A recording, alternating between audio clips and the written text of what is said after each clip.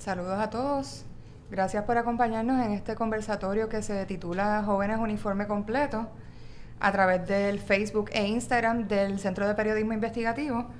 Hoy jueves 29 de febrero, mi nombre es Tatiana Díaz Ramos y junto a mi compañero José Manuel Encarnación Martínez de la Unidad Investigativa de Educación del CPI, moderamos esta conversación con dos estudiantes de escuela superior sobre el estado de su escuela, que figuró entre los cientos de videos, ¿verdad?, que se viralizaron a través de TikTok, mostrando el deterioro de los planteles del sistema público de enseñanza.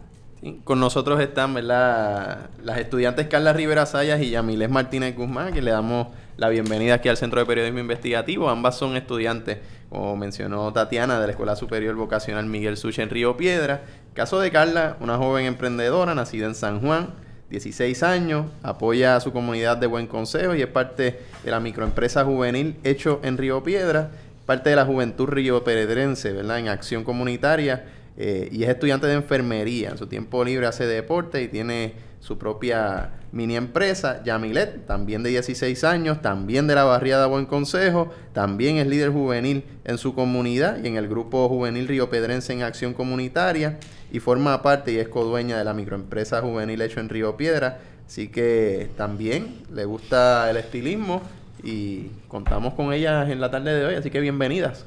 Gracias. Gracias. Pues gracias, ¿verdad?, por aceptar la invitación, estar aquí con nosotros. Eh, también le habíamos extendido invitación a la secretaria o a alguna persona del Departamento de Educación que ella, ¿verdad?, quisiera designar, pero el portavoz de prensa del departamento nos dijo que eh, pues no podían enviar a nadie porque todos los días están haciendo conversatorios en las distintas comunidades escolares para orientarlos sobre las reparaciones que van a estar haciendo en los planteles. Así que por eso quería comenzar rápido preguntándoles a ustedes si ustedes en su escuela Miguel Such ¿Vieron algo de eso? ¿Se ha hecho algún conversatorio como ese? Solamente hemos visto que fue la prensa allá y nos regañaron y como que alejaron a todos los estudiantes. Y si no lo saben, en nuestra escuela fue una de las que hizo el, el FIP, el video de jóvenes uniforme completo, sí, el famoso tren, gracias, de uniforme completo. Y eso llamó la atención de la prensa fue a la escuela y los sitios que se enseñaron en el video, a los de la prensa le dijeron que no podían pasar por ahí porque era una zona peligrosa, pero para los estudiantes está accesible y hay zonas que nosotros tenemos que caminar por ahí, o como el baño, que tenemos que usarlo. Dice, dices que los regañaron. ¿Quién los regañó? ¿Cómo fue eso? Pues eh, a los del video, los estudiantes del video, le dieron como represalias de que podían estar en riesgo de perder su graduación o eliminarle casual days pero luego dijeron que eso era libertad de expresión y retiraron lo dicho. ¿Y eso fue quién específicamente, si, si lo quieres decir? Eh, los directores. Los encargados de la, de la escuela. Sí. Y vi también, por ejemplo, ese primer video que salió, que fue de una escuela en Camuy, pues rápido fue un contingente y le arreglaron los baños y después salió todo perfecto. ¿Hicieron algo similar en la escuela de ustedes? No. En nuestra escuela actualmente sigue exactamente igual que como está en el video, no han arreglado absolutamente nada y pues hasta ahora lo único que ha ido de apoyo sería la, prensa que fue y no la dejaron pasar. Veo. Y personal así del departamento ha recibido visitas. Recuerdo en el caso de una escuela en Naguabo, la Escuela Superior de Naguabo, eh, los estudiantes hicieron una manifestación, lo hicieron diferente ustedes que realizaron los videos, ellos hicieron una manifestación en la escuela, recibieron la visita de la, de la secretaria, hubo unas promesas y comenzaron a pintar la escuela. ¿No han recibido visitas de nadie allí? No. Desconocemos si han ido visitas, pero claramente la voz corre rápido en la escuela y no, no han recibido visitas ni nada por el estilo. Ni tampoco han hecho arreglos. Pero sí quiero decir que andan montando unos ponchadores y supuestamente nos van a mover de escuela. Han entregado papeles a los maestros de taller, somos una escuela vocacional, y han entregado papeles a los maestros de taller con la lista de materiales que tienen que llevarse para el otro lado que nos van a mover, pero han andado por toda la escuela montando ponchadores para asistencia. Nos van a dar supuestamente unas tarjetas y demás. No entiendo la lógica porque si van a derrumbar la escuela o van a reconstruirla, ¿por qué montar unos ponchadores nuevos? Que eso de verdad, o sea, se le ve la calidad, o sea, se ve que es caro. Y si van a demoler la escuela, creo que es una pérdida de dinero. Y de verdad, eso no es algo que los estudiantes necesiten actualmente como lo que realmente se ve en los videos. ¿Y los padres? O, o, o Sí, pero es que quería abundar un poquito en eso. O sea, eso es lo que les dijeron, que la escuela le iban a demoler. Que Eso lo han Sí, dicho que desde- van, no, tienen desde que yo estoy en noveno que van a demoler la escuela. Pero hasta ahora es que se ha visto que han entregado listas a los maestros de talleres y que están haciendo conteos y buscando posibles escuelas o sitios que puedan movernos. Pero ustedes son una escuela grande, o sea, son más de 800 estudiantes, Sí. ¿verdad? Sí, o sea, sí. y con todas las escuelas que se han cerrado alrededor en Río Piedra, ¿dónde ustedes van a caber? Eso mismo decimos nosotros porque no cabíamos en el colegio universitario y quieren mandarnos para otras escuelas. Que claramente el plantel escolar de ellos no es ni la mitad de la Miguel Sush. Wow. ¿Y ha habido alguna comunicación con los padres? O sea, ¿qué, No, qué papel ha no. jugado la comunicación de la escuela con...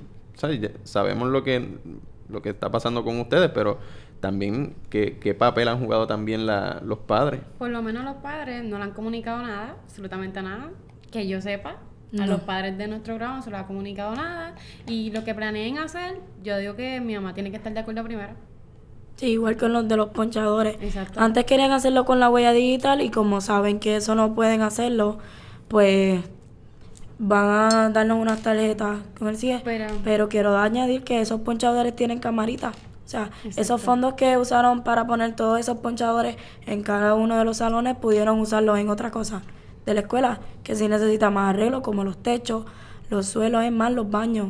En los baños siempre hay filtración, hay baños sin puertas y las nenas nunca tenemos papel en el baño.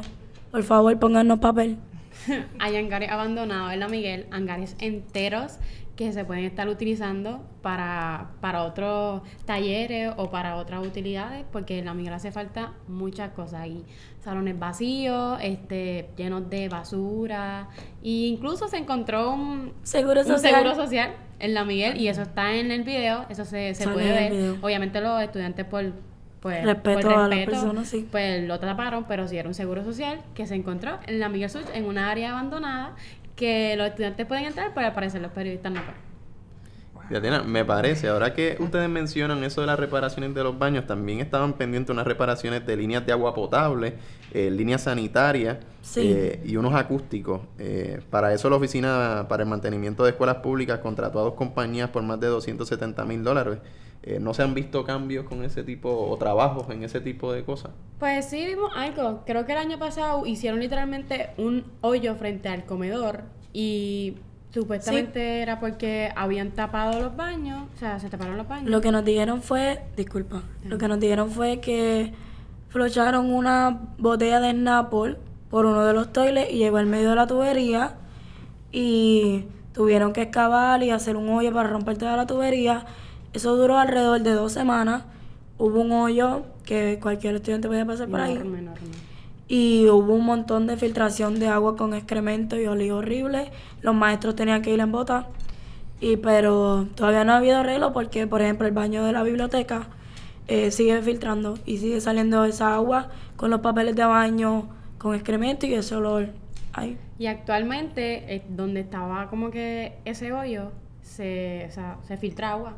Hay Sí, todavía sale agua por ahí. Del pasillo, o sea, que se ve, se ven cosas que salen de, de ahí, agua. Incluso las tuberías de, los, de la vocacional, pues de la escuela está dañada y sale papel, o sea, tú pasas por el pasillo y tú puedes ver papel al lado de... De donde cual- está la tubería. Exacto, del lado de la tubería. Y eso no ha provocado, por ejemplo, estudiantes enfermos, maestros enfermos. Desconocemos, Mira. pero pienso que uno que otro. A lo mejor sí, a lo mejor sí, porque de que hay gente enferma, pues obviamente en todos lados hay gente enferma. De que sabemos si es por eso, pues obviamente no se sabe, porque no, no sabría decir estudiantes que estén enfermos a causa de eso específicamente. Y en términos generales, ¿verdad? Usted, tú, tú estás en enfermería, Y en barbería. Y Valpería y estilismo. Y tienen todos los equipos que ustedes necesitan para hacer su, su No. taller. ¿Qué falta? Claro que no. Desde que estoy en grado 10, mi maestra lleva pidiendo materiales que nos hacen falta, pidiendo chequeos en el salón porque tenemos filtración con los shampoo bowls, que eso es donde se lava el pelo al cliente. Las eh, tuberías no sirven y nuestra tubería y corriente de agua está conectada a la de enfermería. Y cuando cerramos en el taller, se cierra la del baño de enfermería, entonces si la dejamos abierta en nuestro taller, se inunda el área donde realizamos nuestras horas de práctica. Sí. En enfermería, pues el salón de la práctica, donde se supone que hagamos todos los laboratorios, todos los, los exámenes y todo, pues no tiene aire, así que estamos en un salón mucho más pequeño, o sea, extra- es, no es ni la mitad de grande de lo que es el taller de laboratorio, o sea, el, el taller real. No, no tiene aire, así que no se puede trabajar allí, pues tampoco están los, las cosas necesarias, hacen falta pues guantes, cosas, cosas que uno necesita como estudiante que se para volver a usar muchas veces y eso no lo hay. O sea, se le han hecho cartas al departamento porque mm, por lo menos me está en lo personal lo ha hecho. Y pues no han, no han, no ha habido respuesta, como que no lo han intentado. Sí, y debo recalcar que estos materiales eh, mayoritariamente se pide para las personas que pues no tienen el presupuesto para costear esto, ya que estos materiales son caros, o sea, nos preparan para salir de la escuela y ejercer eso que estamos estudiando. Y en mi taller barbería las cosas son caras. No hay una lista de materiales, a menos que sean tres que sean menos de 100 dólares, 50 dólares. Y sabemos que no todos los estudiantes tienen el acceso para eso y por eso mismo se supone que cada taller tenga los materiales para poder darle a esos estudiantes que no tienen ese presupuesto. No, en lo general los talleres todos son caros. Sí. Enfermería es No, carísimo. enfermería también. Es carísimo, es carísimo. Y si la maestra realmente, o sea, eh, mi maestra está comprometida. Y gracias a que está comprometida, nosotros hemos podido aprender realmente lo que se supone que estemos aprendiendo, pero no con las cosas que lo deberíamos hacer, ¿verdad? Ella rehúsa las cosas que se supone que se voten y se compren otras, porque son cosas que cada estudiante debe tener. Pero como no, el departamento no lo ha no lo ha, No ha dado los fondos. Ajá, no ha dado los fondos y ellos no se mueven tampoco, pues hemos tenido que aprender así. Y en general, digamos que el, el resto de los talleres, el resto de los cursos es la misma situación. Sí, tienen que tener el mismo problema. Exacto, en lo personal yo no sé mucho, pero todos tienen que tener el mismo problema porque ajá, todos son, es lo mismo. Y las facilidades deportivas. Tenemos cuatro canchas, ninguna tiene techo, eh, dos de voleibol, dos de baloncesto, una de voleibol playero, que intentamos hacer un trato con los directores y demás para que nos dieran horas verdes y nosotros restaurar esa, esa cancha y no nos dejaron, pero son canchas que se pueden usar, están eh, ahí para la hora recreativa de nosotros y no tienen techo y jugamos bajo el sol. Los equipos, los que somos estudiantes atletas, tenemos que practicar bajo ese sol. Hoy mismo yo casi me desmayo por ese sol porque estoy en básquet y voleibol. Yo era básquet. Y no, no tenemos cancha. Ah, y el maestro de educación física para nuestros juegos de voleibol, eh, él vende aguas y gatores para costear los arbitrajes y tuvo que comprar bolas. Las bolas de voleibol son de 60 dólares en adelante. Compró cuatro bolas de su dinero para poder llevar bolas representables a los torneos. Sí. Actualmente, disculpa, Sí, no, actualmente nuestra cancha de voleibol playero, como se puede decir, tiene un árbol en centro, o sea, está incrustado con la malla. Que hemos intentado, Sí. pues eh, lo intentamos de verdad, hablamos, intentamos hablar para que nos dieran horas o, o hacerlo voluntariamente, pero necesitábamos ayuda, porque o sea, nosotros, nosotros lo podemos hacer, pero somos jóvenes, entonces un mal golpe, eh, por lo menos en lo personal yo estoy lesionada y no puedo tirarme a, a eso, aunque hice el movimiento para intentarlo y como que de su parte no, no se vio no se vio como que la intención y esa cancha tiene o sea tiene puede tener mucho Sí, mucho tiene uso. potencial, Exacto. tiene potencial. tiene mucho potencial Y, ¿verdad? Para beneficio de la, de la gente que nos está viendo, que sepan que hay unos fondos pendientes, unos fondos federales, casi 38 millones eh, de fondos de emergencia que desde el 2021 el gobierno federal le aprobó al Departamento de Educación y que están, ¿verdad? Esperando que terminen el proceso burocrático para comenzar a comprar ese tipo de materiales, balones, eh, para que. La- las disciplinas deportivas que se celebran en las escuelas pues se puedan dar. Eh, y curiosamente lo único que se ha comprado pues son eh, unos paneles, unos paneles eh, ¿verdad? electrónicos, unas pizarras. Eh, así que nada, para que lo tengan ahí pendiente, pueden ver esa historia también en, en nuestras plataformas, Tatiana. Y el riesgo también de que esos fondos tienen su fecha de, así, expiración, o sea, hasta si no hay que devolverlo. que eso es lo, lo más triste también. Eh, y por ejemplo, así de. ¿Hay internet en toda la escuela? Donde quiera que ustedes se paren. No, el internet, el internet, de verdad, el internet, Miguel, No funciona. no funciona. No funciona. Si nos conectamos todos los estudiantes, o mínimo dos salones, el internet no abre casi nada. El año pasado, el año pasado creo que fueron las pruebas meta, cuando estábamos haciendo las pruebas meta, pues no sé, o sea, no se podía porque Nos atrasamos internet- dos horas. Exacto. Y que eso fue casi todo, Y fue casi por- todos los días. por- Por, por el el- internet. la ve- Sí. La velocidad del internet, eso, eso no existe. Yo creo que la- el área más fuerte es en la oficina. En la oficina. Y la demás, o sea, la, la otra parte de la escuela que es inmensa, que tiene tantos salones, tantos hangares, tantos estudiantes adentro, no funciona. O sea. ¿Y cisternas, eh, planta eléctrica, tienen No, eso? no, tampoco. Ayer el- en la escuela no había luz y nos despacharon a las nueve y media. No mandaron el comunicado en la mañana para avisar y así padres se ahorraban el viaje y el gasto de gasolina porque hay unos que viven lejos. Y nos esperaron a que pasaran las dos horas, como dice el currículum, para decirnos, estudiantes tienen que irse. Nos tenían afuera cogiendo clases, algunos maestros decidieron no dar clases porque saben que eso es en condi- condiciones inhumanas y esos hangares son oscuros. Y, los salones son cerrados y las ventanas pues no hay fluidez de aire. Y antes de continuar, quiero recalcar que estamos en escuela pública vocacional, los maestros son excelentes, no estamos eh, hablando de la, del área académica, estamos hablando de la estructura. Tenemos la mejor maestra de matemáticas. Y, y es importante, Tatiana, el departamento separó alrededor de 34 millones de los fondos Restart para este tipo, para adquirir Para este tipo de, de, de equipo, ¿verdad? Tanto cisternas como, como plantas eléctricas, como parte del plan maestro de infraestructura. ¿Mm? No. En la Miguel no había luz. Pues yo no he visto la- esos fondos De verdad no. por la escuela. Cuando nosotros llegamos bastante temprano a la escuela y específicamente llegamos casi como a las 7, 6. Seis y media. y media. Y no había luz desde esa hora. Y lo sabían, ellos lo sabían, ellos estaban ahí. Y en vez de enviar el comunicado temprano en la mañana, cuando se dieron cuenta, por lo menos avisando, porque si ellos saben que eso no va a llegar, era obvio que tenían que decirlo. Por lo menos mi mamá trabaja. Y yo sé que muchos padres también trabajan y no quieren mantener a sus hijos en una escuela que claramente no está dando clases por las circunstancias inhumanas de que no hay luz y no hay una planta, porque eso es otra cosa o que se tiene que hablar luego claramente, porque... Como una escuela tan grande no tiene planta planta. eléctrica. Exacto, ni cisterna, o sea, eso Sí. no se puede entender.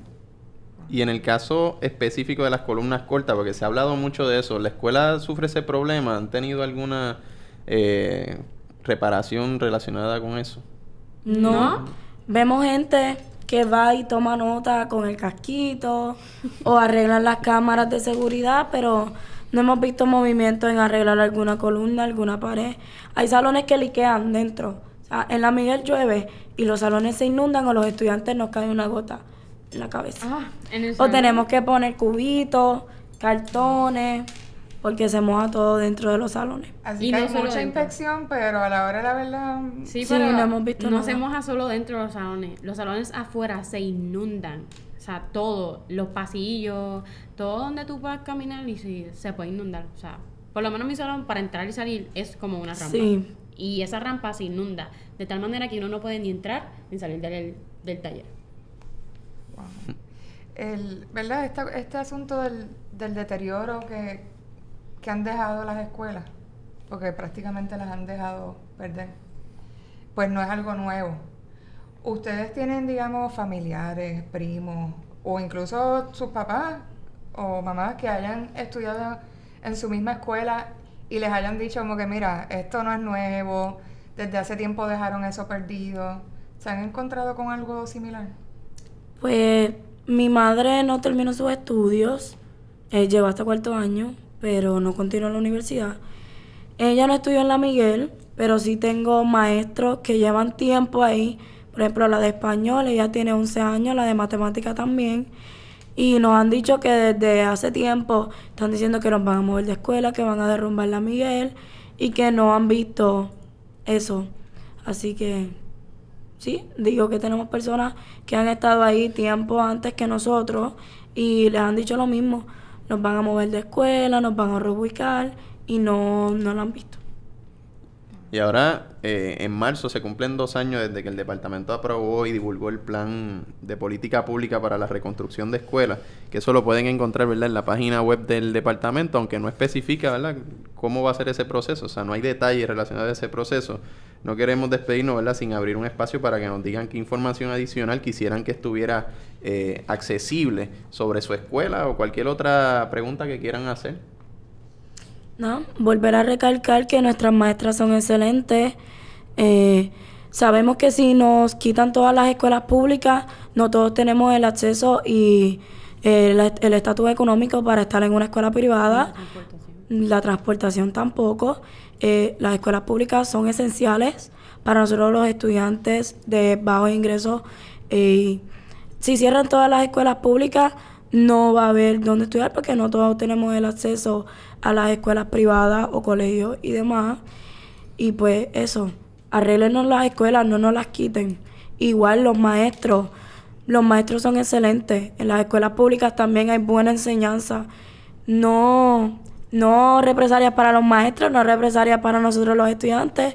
Usen los fondos para lo que es y no nos quiten los chavos. Y quiero hacerle una última pregunta. Eh, el, ¿sabe? Estas condiciones, ¿Cómo lo afecta desde el punto de vista de los chamacos y las muchachas que no necesariamente se sienten tan conectados con la escuela, esos que quizás se ven más tentados con abandonar la escuela? ¿Tiene un efecto en que los muchachos se vayan para la calle y digan, mira, ya yo no voy a estudiar más, me voy para la calle? Pues claro, que la tienen. Si, o sea, si mentalmente ellos no quieren estudiar porque una escuela que no está en las, condiciones, en una buena condición, le va a dar la motivación de hacerlo. O sea, eso es, eso es obvio. Si, si mentalmente tú no quieres hacerlo, porque lo que tú ves o sea, no te da ganas de, te da menos, te da menos ganas de hacerlo.